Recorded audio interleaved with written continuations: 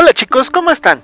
Yo contento por grabarles un nuevo video. El dibujo que hoy será la Catrina, ya que votaron todos ustedes porque sea la primera en el mes del terror o Día de Muertos. La Catrina es un personaje de folclore mexicano que se ha popularizado mucho en todo el mundo, especialmente como disfraz para Halloween. Sin embargo, este personaje se toma mucho a la ligera, pues si se le preguntara a la mayoría de personas que usan su disfraz, se limitarían a decir que es la muerte mexicana. La Catrina representa mucho más que eso para México. Por ejemplo, su nombre inicial era la calavera garbancera. La figura fue creada por José Guadalupe Posada y bautizada por el muralista Diego Rivera.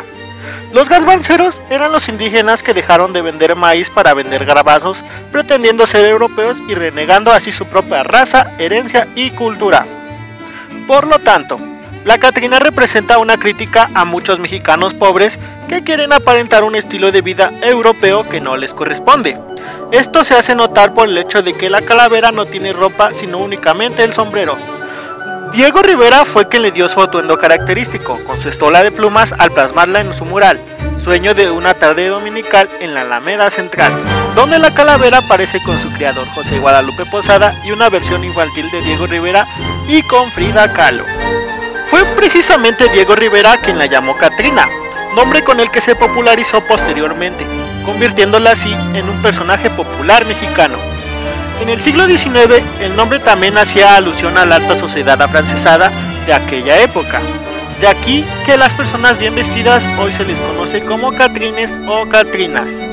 Aunque su imagen se asocia mucho al Día de los Muertos, la Catrina hace referencia a muchas situaciones sociales de finales del siglo XIX y principios del siglo XX. Un tono satírico del que no se salvaron ni Porfirio Díaz ni Emiliano Zapata.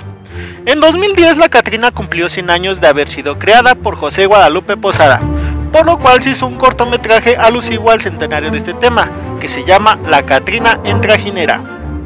Espero que estos datos te hayan gustado o te hayan parecido interesantes. Sin más que decir, a seguir dibujando.